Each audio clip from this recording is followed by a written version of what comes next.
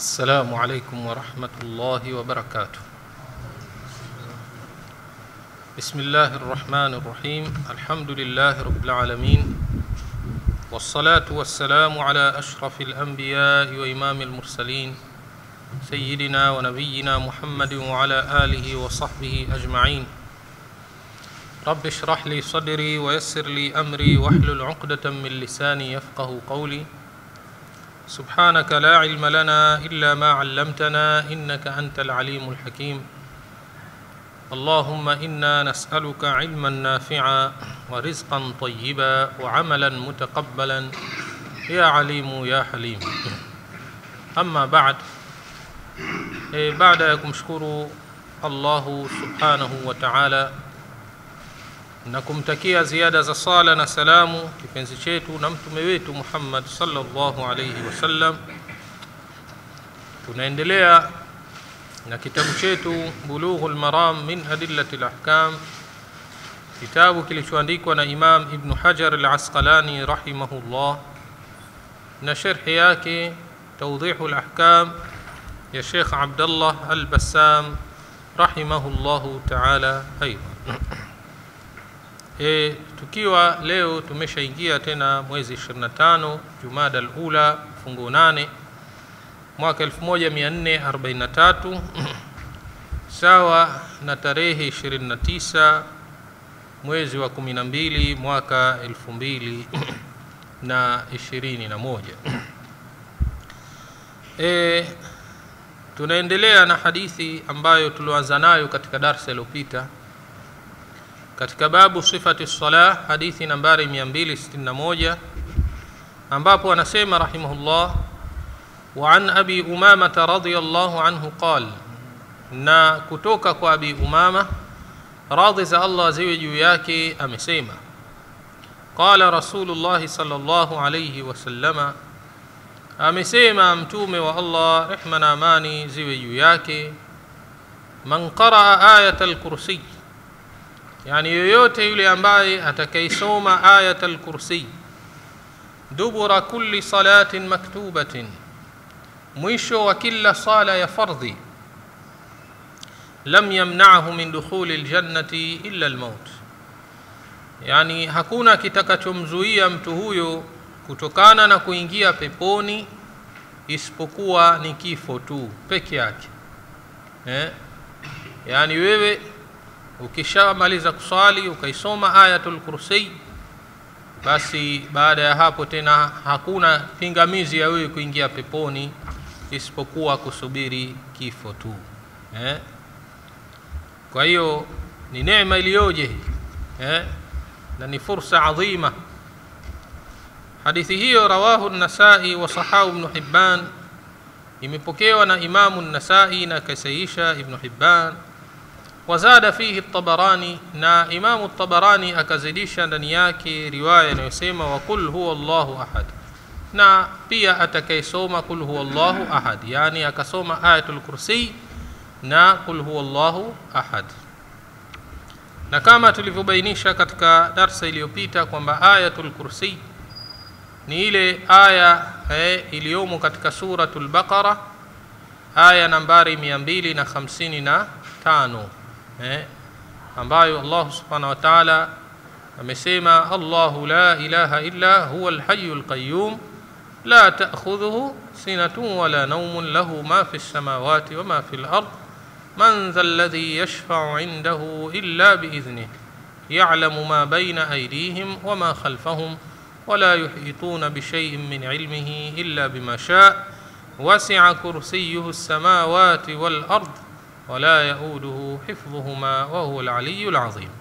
Hiyo ndiyo ayatu al-Kursi eh, ambapo eh, ni aya adhima, ni aya kubwa kabisa eh, sio kubwa kwa urefu eh, taban aya kubwa kwa urefu ni ile ayatu dain eh, ambapo Allah subhanahu wa ta'ala amesema ya ayyuhalladhina amanu idha tadayantum bidainin ila ajalin musamman faktubuhu iko mwishoni kabisa mwa suratu albaqara sura hiyo hiyo lakini aya adhima yani aya tukufu zaidi ni hii ayatu alkursi na ushahidi wa hayo ni ile hadithi tuliyoisoma katika darsa iliyopita e, hadithi ya Ubay bin Ka'b kwamba Mtume sallallahu alaihi wasallam alimuuliza bwana Ubay bin Ka'b, ayu ayatin fi kitabi llahi a'zam, yani ni aya gani katika kitabu cha Allah ndiyo kubwa zaidi?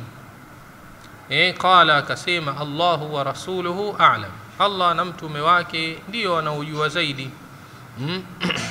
faraddadaha alayhi miraran, Mtume sallallahu alaihi wasallam akalirejea suala hilo mara kwa mara kumuuliza bwana Ubay bin Ka'b. Qala Ubay, akasema Ubay, ayatul kursi, هي ني آية الكرسي. قال متوم صلى الله عليه وسلم وكسيما ليهنك العلم. إيه؟ يعني يكوبونجيز علم يعني علم ما شاء الله هم يباتا. يا أبا المنذر أيوي أبا المنذر. يعني من بونجيزا كسباب يجيبه لي alilo litoa na linaonesha kwamba eh, ana mazingatio makubwa kabisa kwa sababu huwezi kujibu bila ya kuwa na mazingatio, bila ya kuwa na ilmu ya Qur'ani ukajua aya ipi? Eh, inazungumzia nini, hii inazungumzia nini? Eh, ni ilmu kubwa kabisa. Eh. Tayib, kwa hiyo tuangalie sasa eh, maani hadhihi layat ladhima miongoni mwa maana na tafsiri ya aya hii tukufu. Eh, aya hii imeanza Allahu, imeanza kwa jina la Allah jalla jalaluhu, ismullahi alhasan, jina la Allah ilokuwa ni zuri, ambalo jamaat maani aluluhiyya ambalo limekusanya maana zote za uungu, allati la yastahiquha illa hu, maana ambazo hakuna anayezistahikia eh, isipokuwa yeye Allah peke yake. Kwa hiyo fa ibadatu ghairi llahi batila, kwani kumwabudu asiyekuwa Allah? E, ibada hiyo inakuwa ni batil, haifai na ni shirki. Wa huwa jalla waala naye Allah jalla waala aliyetukuka na aliye juu. Sahibu lhayati lkamila, ndiye mwenye maisha yaliyokamilika, ndiyo mwenye maisha yaliyokamilika. Viumbe vyote maisha yao ni maisha pungufu, hayatun naqisa eh, wakati wowote mtu eh, unapoteza una uhai ule, lakini ikiwa mtu utashikamana na mafundisho ya dini eh, basi biidhnillahi azza wa jalla eh, utapata maisha mazuri yenye kudumu. Huko akhira, sawa eh? Lakini maisha yaliyokamilika ni yake Allah subhanahu wa ta'ala peke yake. min as-sam'i wal miongoni mwa sifa hizo alizojisifu nazo ni kusikia na kuona kwa hali ya juu, walqudrati walirada na uwezo na matashi ya kutaka jambo, wa ghairiha min asifati alhamida, na nyinginezo katika sifa nzuri nzuri, zote hizo zinamstahikia yeye Allah subhanahu wa ta'ala peke yake.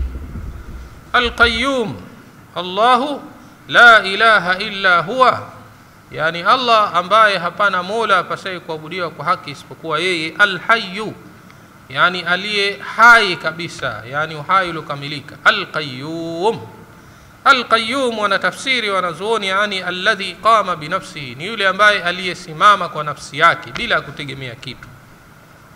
Wastaghna an jamii khalqihi, na hakutegemea viumbe vyake vyote kabisa.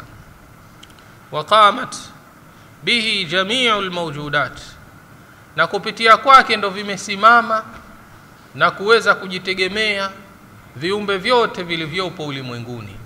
Yeye ndiye eh, aliyeviumba viumbe vyote ambavyo vipo ulimwenguni bila yeye kutegemea chochote. Wa huwa alladhi awjadaha wa abqaha, yeye ndiye Mola aliye eh, viumba na akavibakisha vikawepo. wa amaddaha bijamii ma tahtaju ilayhi fi wujudiha wa baqaiha. Na akavipatia viumbe hivyo mambo yote ambayo yanavyo yahitaji mambo yote ambayo yanahitajika katika viumbe hivyo e, katika kuwepo kwake na kubakia kwake. Kama sisi binadamu allah subhanahu wa taala ametuleta katika hii sayari ya ardhi eh, ambayo ni rafiki kwa mazingira yetu kutokana na hali ya hewa. Hali ya hewa inapatikana vizuri eh, pia hakuna joto kali la hivyo wala baridi kali ya kufanya mtu afariki kwa hiyo ametuleta pahala ambapo ni muafaka kabisa. Ingawa sehemu nyingine kidogo zinazidi baridi yake sehemu nyingine joto lake linazidi eh, lakini kiujumla ni kwamba ni sehemu ambayo ni muafaka kwa maisha ya binadamu. Tofauti na hizo sayari nyinginezo eh, eh, kama hizo sayari za Mercury sijui Venus eh, na kadhalika au huko Pluto mwisho huko ni hatari kubwa huko huwezi hata kuishi hata muda mchache.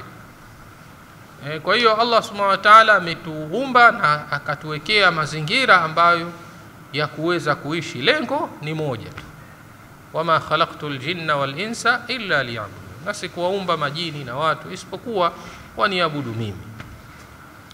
Kwa hiyo Allahu la ilaha illa huwa lhayu alqayyum la ta'khudhuhu sinatun wala nawm. Yani hachukuliwi eh, na kusinzia wala kulala. Kusinzia na kulala hakumchukui yeye Allah subhanahu wa ta'ala. Kama tulivyo sisi binadamu na viumbe vingine mtu wakati mwingine anajikutia anasinzia au analala bila ya kutaka. Kutokana na udhaifu wetu hatuwezi sisi kuishi bila ya kulala na kupumzika e, kwa hiyo asinatu maana asinatu annuasu fil aini ni ile kusinzia katika macho hivi wa amma naum ama usingizi fahuwa listirkhau wathiqal ni ile mtu kupumzika na ule uzito anaohisi wa, wa mwili alladhi yasilu ila alqalb uzito ambao unafika katika moyo fayazulu maahu dhihn kwa hiyo hata ile akili inaondoka wakati ule eh? Kwa hiyo fasinatu wannaumu innama yaridani lilmakhluqi naqis kwa hiyo kusinzia na usingizi kunatokezea kwa kiumbe ambaye ni mpungufu eh, kiumbe mpungufu ndiye ambaye anayeweza kupata vitu kama hivi na ambaye alladhi yahtaju lirahati ambaye anahitaji mapumziko ama sahibu lquwati lkamila walqayumiya attama fala yaridani lahu ama mwenye nguvu zilizokamilika na e, usimamizi e, uliotimia wa kujisimamia yeye mwenyewe na kuongoza vingine huyo hawezi kutokezewa na mambo kama haya, ambaye si mwingine isipokuwa Allah subhanahu wa ta'ala. Lahu ma fi samawati wa ma fi al-ardh, yani ni vyake vyote vilivyomo katika mbingu na ardhi falkullu abiduhu waljamiu mulkuhu. Kwa hiyo vyote vilivyopo ulimwenguni ni viumbe vyake na ni watumwa wake. Na vyote ni milki yake. La yakhruju ahadun minhum an dhalika hakuna yoyote anayetoka miongoni mwao katika ufalme wake na utumwa wake. Sote tunaingia hapa. Hata kama mtu akipinga akikataa eh, akakataa kuwepo kwa Mungu lakini yeye atakuwa tu yuko chini ya ufalme wa Allah subhanahu wa ta'ala. Kama alivyosema Allah subhanahu wa ta'ala wajahadu biha wastaiqanatha anfusuhum dhulman wa uluwa.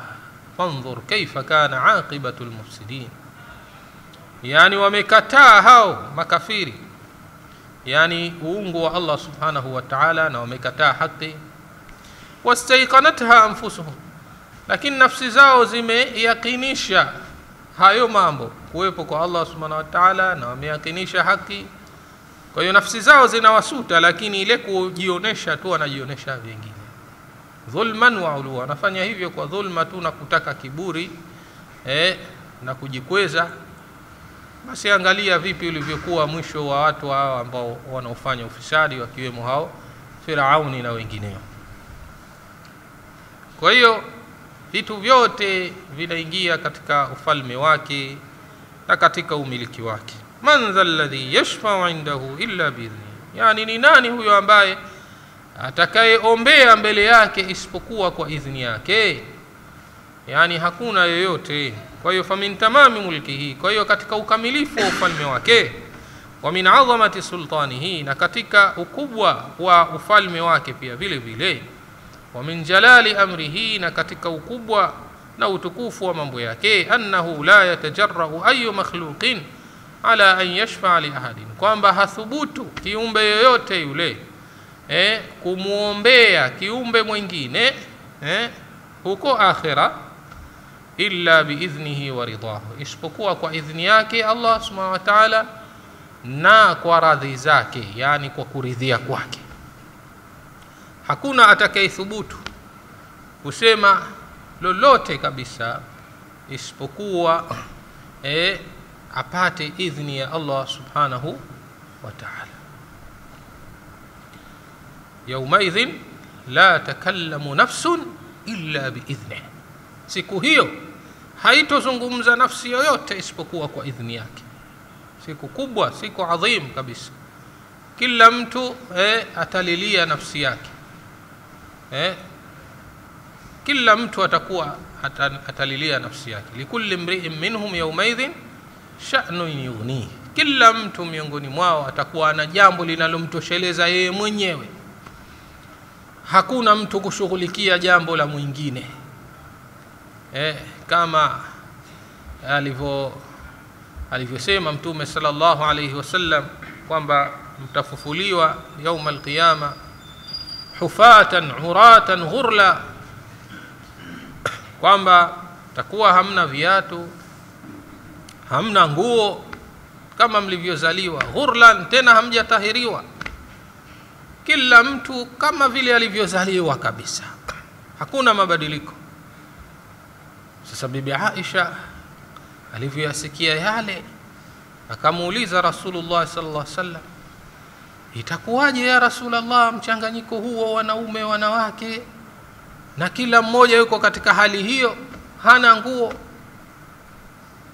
Ah akamwambia bibi aisha kila mtu siku hiyo ndo akamsomea aya hii. Likulli mriin minhum yaumaidhin shanu yuni kila mtu siku hiyo atakuwa na jambo linalomtosheleza mwenyewe. Hakuna mtu kushughulikia mambo kama hayo madogo madogo kuna jambo kubwa eh? imma ila ljannati wa imma ila nar imma kuelekea peponi imma kuelekea motoni naudhu billahi min dhalika eh? kwa hiyo siku hiyo hakuna nafsi itayozungumza kila mtu kimya kabisa ana anafikiria vipi itakuwa hesabu yake kwa hiyo hakuna atakayethubutu kuzungumza wala kuombea isipokuwa eh, kwa idhni yake na ridhaa yake ani shafii walmushaffai fihi. Kwa yule anayeombea na yule anayeombewa. Wa idhnin minhu fi lshafaa na idhni kutoka kwake inakuwa katika uombezi kama alivyosema allah subhanahu wa taala qul lillahi shafaatu jamia. Sema ni wake mwenyezi mungu uombezi wote. Uombezi ni wake yeye. E, na ndio maana tunaambiwa tukiomba shafaa tumwombe allah subhanahu wa taala peke yake. Tusiombe viumbe. E, ingawa kwamba e, uombezi utakuwa kwa mtume sallallahu alaihi wasallam yeye ndo atakuwa na shafaatul uzma, uombezi mkubwa zaidi huo e, ambao e, uombezi huo ni kwa ajili ya watu kuanza kuhesabiwa. E, watu watakwenda kwa nabiullahi adam kuomba kwamba muda ushakuwa mrefu miaka ishakuwa mingi watu wamesimama tu. E, watamwendea wewe ndo baba yetu kwa hiyo katuombee kwa allah subhanahu wa taala ili hesabu ianze. E, hata hatuweza kwenda kwa sababu ata atafikiria makosa yake aliyoyafanya akasema kwamba mimi ndo sababu ya mimi kukutoeni e, katika pepo kuleteni duniani kwa hiyo siwezi kufanya hivyo. Kwa hiyo atakwenda kwa wale ulul azmi wote wale. E, watakwenda kwa nuh alaihi salatu wassalam watakwenda kwa ibrahim. E, watakwenda kwa nabiullahi musa nabiullahi isa mpaka watafikia kwa mtume wetu muhammad sallallahu alaihi wasallam ndipo wataposema ana laha ana laha mimi ndiye ninayestahiki zaidi mimi ndiye ninayestahiki zaidi kwa jambo hilo. E, kwa hiyo hapo watakwenda kumsujudia mola wake na atamsifu mola wake kwa sifa ambazo hakuwahi kumsifu. Mwenyezi mungu atamfunulia aina mbalimbali za sifa mpaka mwenyezi mungu atamwambia irfa rasak.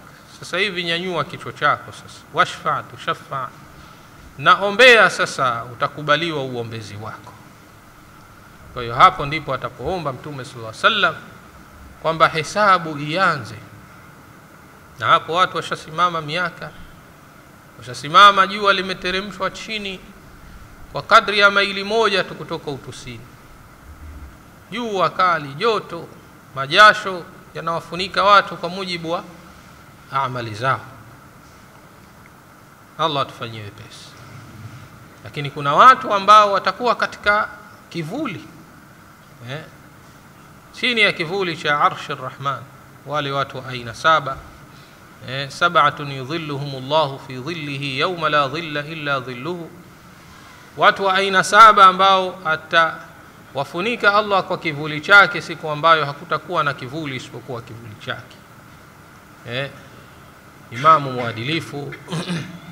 Eh, kijana aliyekulia katika kumtii allah.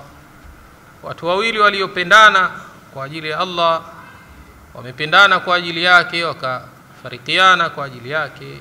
Eh, e, mtu ambaye ametoa sadaka kwa mkono wake wa kulia bila ya kujua mkono wake wa kushoto e, na mtu ambaye moyo wake umefungamana na msikiti na mtu ambaye ameitwa ametakiwa na mwanamke mzuri lakini akasema mimi ninamwogopa allah. Eh? hao eh, ndio ambao wataupata kivuli cha arshi rahman. Na hapo ndipo litapothibitika jina la mtume muhammad salllahu alaihi wasallam. Muhammad manake ni msifiwa kwa hiyo hapo atasifiwa na kushukuriwa na viumbe vyote. Kwa sababu kila kiumbe e, kitakuwa kimeshachoka kabisa kutokana na kile kisimamo. Na ndio maana ikaitwa yaumul qiyama siku ya kisimamo kwa maana kisimamo chake kitakuwa kirefu mno. Eh? kwa hiyo kila kiumbe atakuwa amechoka kabisa kwa hiyo likianza lile tayari kuanza kuhesabiwa basi pale kila mmoja atamshukuru mtume muhammad sallam na kumsifu. Eh? na hiyo ndiyo maqamun mahmud. Wabaathuhu maqaman mahmudan alladhi waadta. Namfufue eh, mtume muhammad sallam katika ile sehemu ambayo atayosifiwa ambayo umemwahidi. Ndiyo hiyo ya kuombea viumbe vyote kwa hiyo pamoja na uombezi huo kutakuwa na uombezi mwingineo. E, uombezi wa matendo mema ikiwemo qurani funga zitakuja kuombea watu wake. E, na waja wema wataombea e, mitume wataombea na kadhalika. Lakini wote hao hawawezi kuombea isipokuwa kwa idhini ya allah subhanahu wa taala na ridhaa yake kwa hiyo ndio maana tunaambiwa tukiomba uombezi kwamba tupate uombezi basi tumuombe mwenyezi mungu peke yake. Yeye ndiye mmiliki wa uombezi huo. Kwa hiyo man dha ladhi yashfau indahu illa biidhnihi yalamu ma baina aidihim wama khalfahum. Anajua mwenyezi mungu yale ambayo yako mbele yao viumbe na yale ambayo yako nyuma yao. Kwa hiyo failmuhu lmuhitu lwasi ilmu yake e, iliyozunguka na pana mno. Watilauhu ala shuuni khalqihi. Na e, utambuzi wake juu ya mambo ya viumbe vyake yote. Wa ilmuhu bimadihim wa hadirihim wa mustaqbalihim. Na ilmu yake kwa mambo yao yaliyopita na mambo yaliyopo na mambo ambayo yatayokuja la yahtaju maahu ila lwusatai washufaai fi amri khalqihi mwenyezi mungu hahitaji e, watu wa kati na kati waombezi katika kujua mambo ya viumbe vyake mwenyezi mungu anajua kila kitu hahitaji labda kupelekewa habari kila jioni au kila asubuhi kwamba huko kumetokea hivi kumetokea hivi la eh? ilmu yake ni elimu iliyokamilika hmm? Tayib e, isipokuwa wakati mwingine huwatuma tu malaika kwa e, kwa hikma zake mwenyezi mungu azza wa jalla nendeni kawaangalieni waja wangu wanafanya nini sasa anapeleka habari kwamba tumewakuta wanasali na tumewaacha wanasali eh? Eh, au wengine wale wanaopitia halakat za, za kheri kila wanapokuta halqa yani darsa ambayo inazungumzia utukufu wa allah subhanahu wa taala inazungumzia mambo ya dini basi hutulia pale na hufunika mbawa zao na hu, huteremsha utulivu kwa watu wale. Kwa hiyo mwenyezi mungu azza wa jalla anawatuma hao. Sio kwamba hajui hali za waja wake lakini anawatuma kwa hikma. Na allahu alam pengine anatufundisha sisi binadamu namna ya kuendesha na kuongoza mambo. E, kwamba uwe na watu maalum ambao watakuwa wanafanya kazi hizi wengine wanafanya kazi zile. Sawa eh? Eh. wallahu alam allah ndo anajua zaidi ولا يحيطون بشيء من علمه إلا بما شاء. ولا هوا كيزنغوكي كيتو چوچوتي كتك علم ياكي اسبقوا كيلي أنا شكتاك أما خلقه العلوي والسفلي فلا يحيطون بقليل أو بكثير من علم الله. يعني في يوم بفياكي في أولي موينغو وجونا في لفي يوم بفي أولي موينغو يعني بنغوننا أرضيني.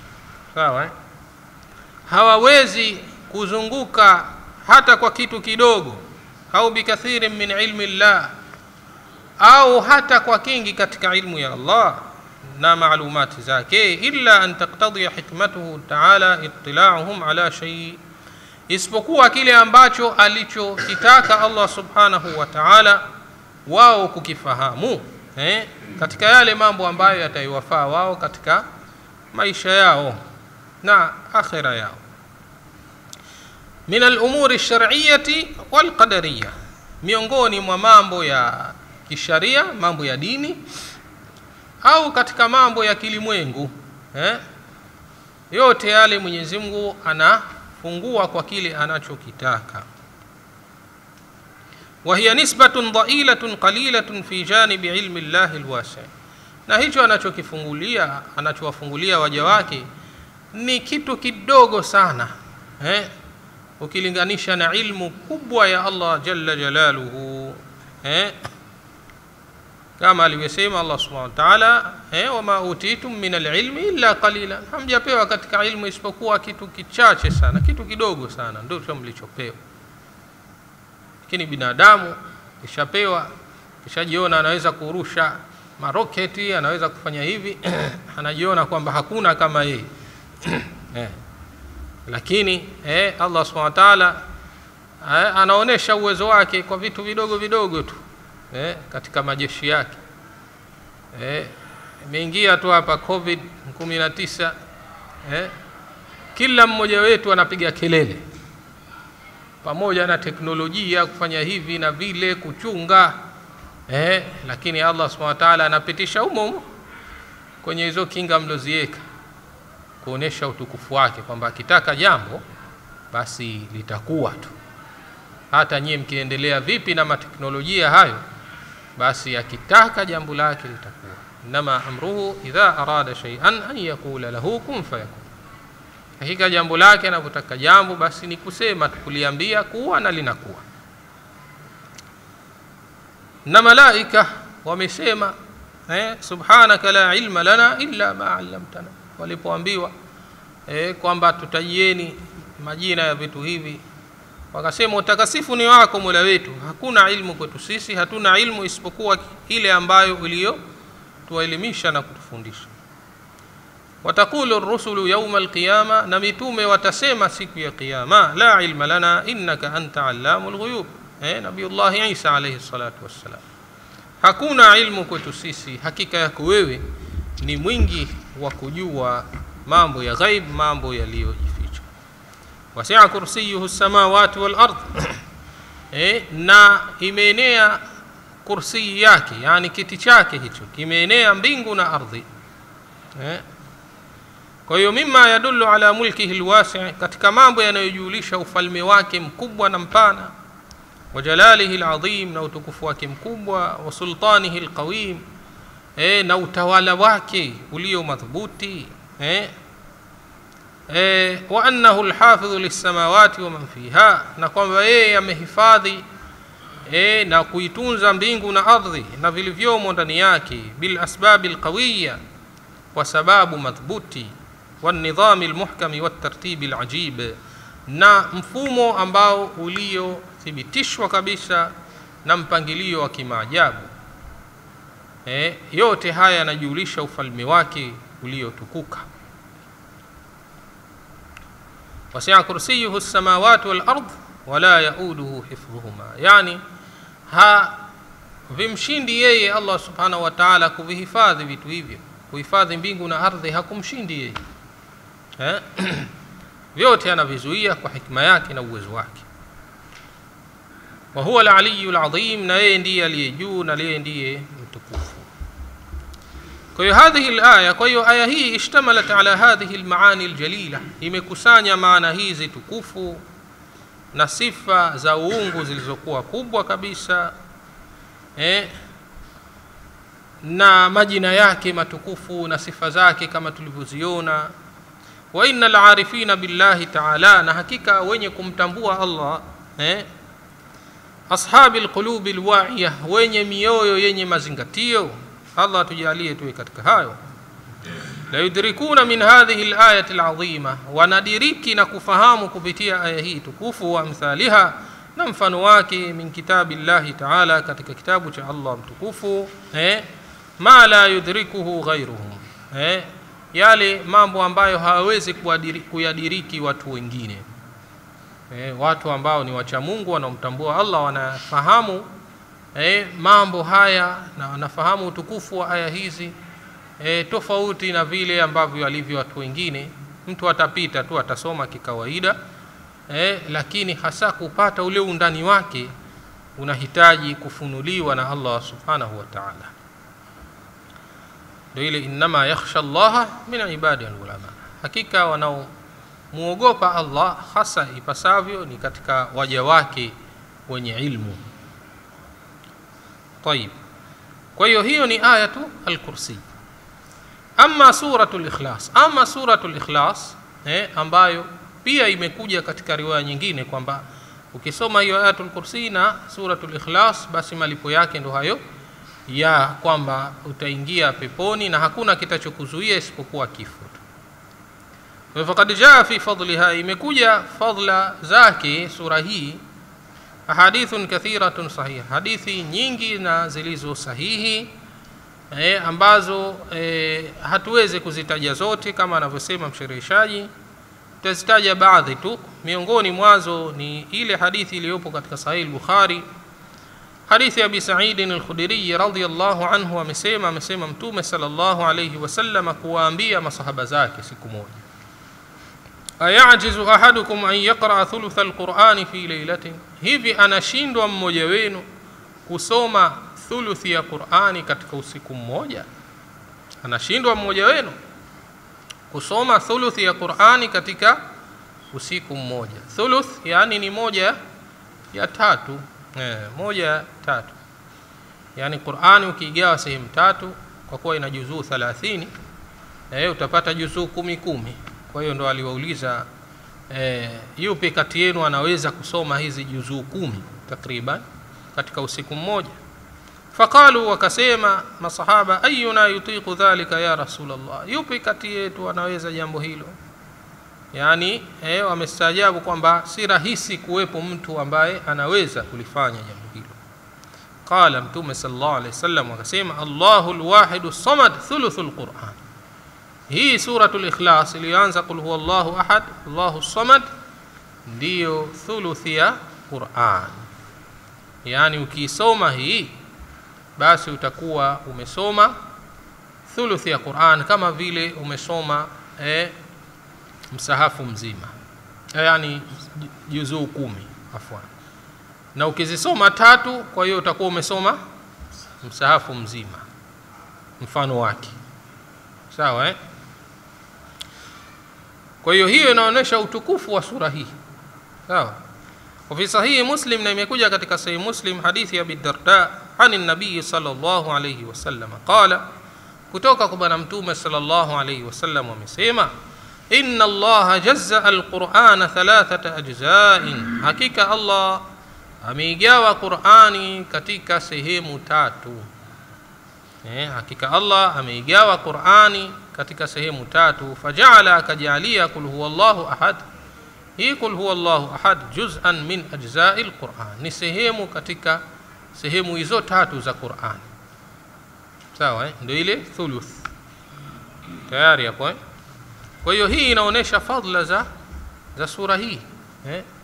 kwa sababu ndani yake imekusanya eh, majina ya Allah subhanahu wa ta'ala na sifa zake akasema Sheikhul Islam Ibn Taymiyyah rahimahullah kwamba wa amma sual an maana hadhihi almuadala ama kuulizia kuhusiana na e, mlingano huu kwamba sura moja hii kul wallahu ahad inalingana na e, thuluthi ya Qur'an. Anasema maa alishtiraki fi kauni aljamii kalami llahi taala pamoja na kushirikiana kwamba yote haya ni maneno ya Allah subhanahu wa ta'ala. Eh, kwa nini hii inakuwa eh, ni, ina, ni kama vile thuluthi ya Qur'an hizi nyingine kama kawaida. Faqad qala ta'ala kwani amesema Allah subhanahu wa ta'ala ma nansakh min ayatin au nunsiha nati bi khairin minha au mithliha. Yani hatufuti aya yoyote au kuisahaulisha aya hiyo. Basi tunaleta eh, aya nyingine ambayo ni bora zaidi kuliko hiyo au mfano wake. Eh? Mwenyezi Mungu anaweza kufanya lolote katika haya yani hatufuti aya yote kwa sababu kuna aya ambazo ni mansukha zimefutwa na kuna nyingine nasikha zenye kufuta. Tayari eh? Eh, kwa hiyo ndo anasema Allah subhanahu wa ta'ala hatufuti aya yote. Au kuisahaulisha yanaweza anaweza akaiteremsha Allah subhanahu wa ta'ala aya ikasahaulika kwa matashi yake basi tunaleta aya ambayo ni bora zaidi kuliko hiyo au mfano wake. Kama ilivyo katika suratul baqara 106 kwa hiyo hapa inaonyesha wazi kwamba anna alayat tatamathalu taratan wa tatafadalu taratan. Kwamba hizi aya wakati mwingine zinafanana na wakati mwingine zinakuwa ni bora kuliko nyinginezo. Sawa ndio hiyo tunaleta aya ambazo ni bora zaidi kuliko ile kwa hiyo hii inaonyesha kwamba kuna aya ambazo ni bora zaidi kuliko aya nyinginezo tayari hapo eh?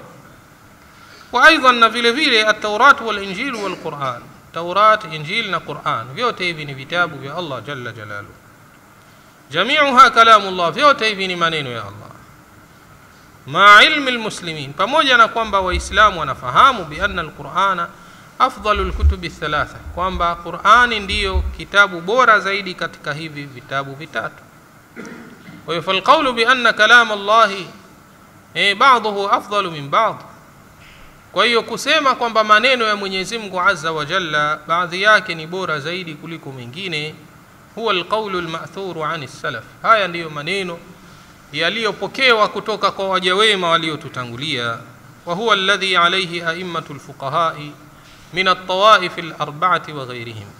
نهاية ديو وليو كوانايو إيه ما إمام وفقه إيه كتك مذهب زلنة نا وإنجنيو كتك ونازور وكلام القائلين بذلك إيه نديو نا منينو يوانو سمهايو كثير منتشر في كتب كثيرة. إيه ني ni mengi na yametawanyika katika vitabu vingi. Walmuthbit litafadhuli kalami llahi mu'tasimun bilkitabi wassunnati walathar na yule ambaye anaithibitisha eh, kufadhilika kwa maneno ya allah subhanahu wa taala kwamba mengine ni bora na mengine eh, yako chini ya yale yaliyo bora lakini yote ni maneno ya allah subhanahu wa taala hayo huyo atakayesema hivyo basi ameshikamana na qurani na sunna za mtume salllahu alehi wasallam mpaka mwisho wa maneno yake. Kwa hiyo faidha ulima ma dalla alaihi sharu kwa hiyo patapotambulika yale mambo ambayo yamejulishwa na sharia ma qauli salaf pamoja na e, maneno ya hawa waja wema waliopita kwamba ma anna ba'd alquran afdalu min ba'd pamoja na kwamba e, baadhi ya qurani ni bora zaidi kuliko baadhi nyingineyo. Kwa hiyo baqiya alkalamu fi kaun sasa kitabakia kusema kuhusiana na kuwa hii qul huwa llahu ahad tadilu thuluth alquran inalingana na e, thuluthi ya quran. Ma wajhu dhalik? Ni ipi e, namna au sura ya, ya hayo?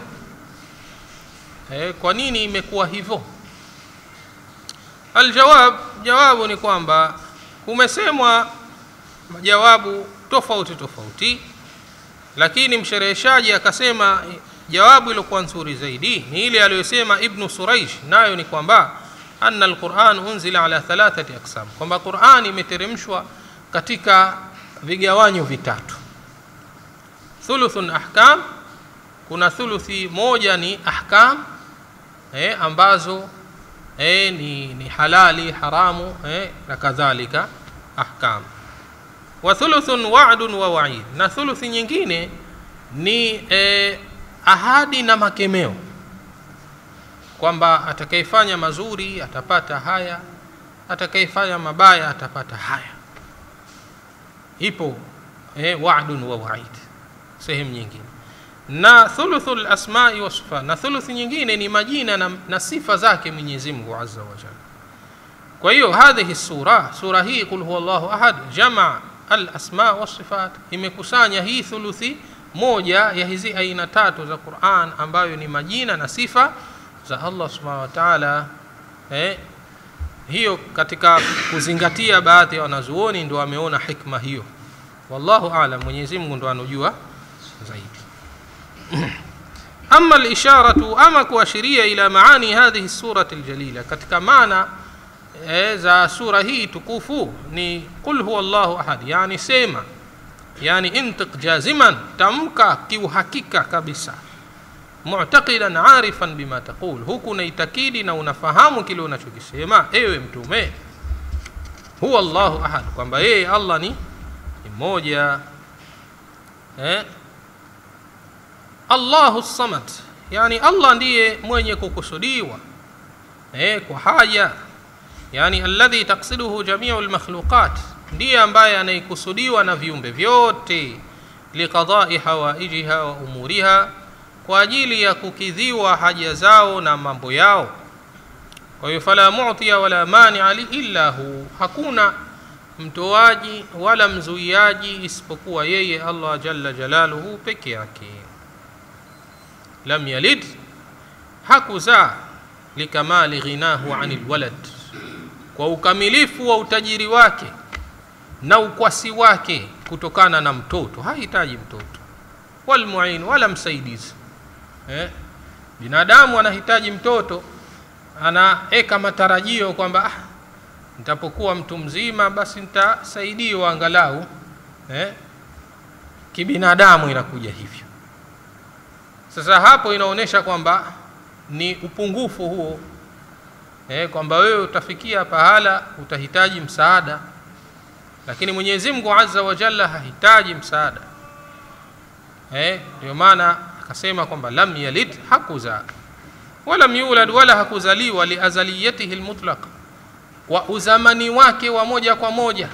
Yeye mwenyezi mungu ndiye e, wa mwanzo laisa qablahu shay hakuna kabla yake chochote yeye ndiye wa mwanzo na mtu akizaliwa manake inaonyesha kuna waliomtangulia sawa eh? tayib walam yakun lahu kufuwan ahad na hakuna mfano wake hata mmoja la shabihun si anayefanana wala nadhirun wala anayelingana wala mathilun wala mfano wake la fi dhatihi wala fi sifatihi si katika dhati yake wala si katika sifa zake wala fi afalihi wala si katika matendo yake fahadhihi layatu mithlu qaulihi taala kwa hiyo aya hii ni mfano wa kauli yake allah subhanahu wa taala aliposema laisa kamithlihi sheiun wahuwa samiu lbasir hakuna mfano wake chochote na yeye ni mwingi wa kusikia na ni mwingi wa kuona kama ilivyo katika suratu shura aya ya kumi na moja وفي الحديث أذان تاج وفي الحديث katika hadithi hii istihbabu qiraati tilka alayati alazima kwamba inasuniwa kusomwa aya hii tukufu wa hadhihi surati sharifa na sura hii tukufu baada kulli salatin mafruḍa baada ya kila sala ya fardhi tujitahidi kusoma kwa sababu ujira wake ni mkubwa mno kama tulivyoona liyaktamila bihima dhikruhu lirabbihi ili apate kukamilisha utajo wake wa kumtaja mola wake. Wayarfau bihima ma naqasa min salatihi na anyanyue e, yale aliyopungua katika ile swala yake. Ndiyo hikma ya hizi adhkari za baada ya swala.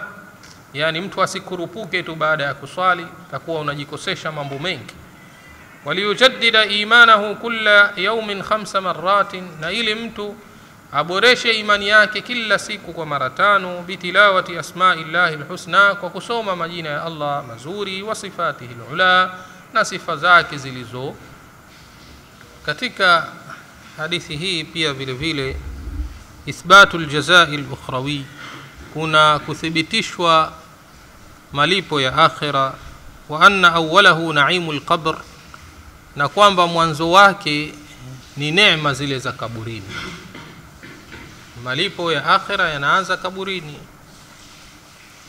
au adhabihi au adhabu zake wa anna naima alqabri na kwamba neema za kaburini juzun min naimi ljanna ni sehemu katika neema za peponi kama anna adhaba alqabr kama ilivyo adhabu za kaburi juzun min adhabi nnar ni sehemu ya adhabu ya motoni kama ilivyo mashuhuri kwamba kaburi ni e, shimo katika mashimo ya moto au ni bustani katika bustani za pepo. Qala llahu taala amesema allah subhanahu wa taala katika suratu ghafir 46 annaru yuraduna alaiha ghuduwan wa ashiya. Moto watapelekewa hao watu wa firaun asubuhi na jioni wa yauma taqumu saatu na siku kitaposimama saa ya qiama adkhilu ala firauna ashadda aladhab wataambiwa malaika waingizeni hawa watu wa firaun katika adhabu iliyokuwa kali mno. Wafihi na katika hadithi hii tunajifunza anna al-a'mal as-salihat ya kwamba matendo mema sababun lidukhuli ljanna ni sababu ya kuingia peponi kama qala taala kama alivyosema allah subhanahu wa taala jazaan bima kanu yamalun. Hayo ndiyo malipo kwa yale waliokuwa wakiyatenda. Wala yuaridhu dhalik na wala jambo hili halipingani. Na ile hadithi iliyopo katika sahih bukhari na muslim kwamba mtume sallallahu alaihi wasallam amesema lan yudkhila ahadukum ljannata amaluhu yani haitomwingiza mmoja wenu peponi amali yake. Amali yake hasa mtu haitomwingiza peponi. Fakhila pakasemwa wala anta ya rasulllah hata wewe ya rasulllah amali zako hazitokuingiza peponi? Faqala akasema mtume saa sallam wala ana hata mimi. Illa an yataghammadani allahu birahmatin minhu wa fadl. Isipokuwa ataponifunika mimi allah jalla jalaluhu kwa rehma zitokazo kwake na fadhila zake. Hapo ndipo nitakapoweza eh, kuingia peponi. Lakini kinyume na hivyo hakuna yeyote atakayeingia peponi kwa amali zake. Eh, kwa hiyo hapa akafafanua akataja e, beti zile zilizokuja katika nunia ambayo ni ya ibnu lqayim wanachuoni huyo anasema wataamal lbaa allati qad ayanat sababa lfalahi lihikmati lfurqani واظن باء النفي قد غرتك في ذاك الحديث اتى به الشيخان yani anasema nazingatia ile bee ambayo iliyoainisha sababu ya mafanikio kwa hikma ya qurani ndio hiyo jazaam bima kanu yamu izingatie bee ile ni malipo kwa sababu ya yale waliokuwa wakiyafanya waadhunnu baa nafyi kad gharratka fi na nadhania kwamba ile ba be ya kukanusha imekuhadaa. Fi dhaka alhadith ata bihi sheikhani. Katika ile hadithi ambayo imepokewa na mashekhe wawili yani bukhari na muslim. Ndio hii kwamba hatuingia mmoja wenu peponi biamalihi kwa matendo yake. Hii be naona kama imekushughulisha hivi kwamba mtu hatuweza kuingia kwa matendo yake. Anasema lan yadkhula aljannatu aslan kadihun. Hatoingia peponi asli yani katu mwenye kufanya bidii. Bisai minhu walau ala alajfani. Yani kwa kukimbilia katika hiyo pepo hata kupitia machozi eh, na eh, na kwa kujaza vyombo kwa machozi hatuweza kufikia wallahi ma baina nususi taarudhun walkullu masdaruha ani rrahmani na hapa kwa mwenyezi mungu hakuna baina ya dalili hizi qurani wala hadithi mpingano wowote. Na vyote hivyo vinatoka kwa rahmani. Lakin bilithbati litasbibi walbai lati linafyi bilathmani eh? anasema lakini ile be ba alithbat ile be iliyothibitisha kwamba watu wataingia peponi kwa matendo yao litasbibi ile inaonyesha ni sababu tu ile ya kuingia peponi. Na be ambayo imekuja kukanusha hatoingia mtu kwa amali yake bil athmani ile ni kwa thamani.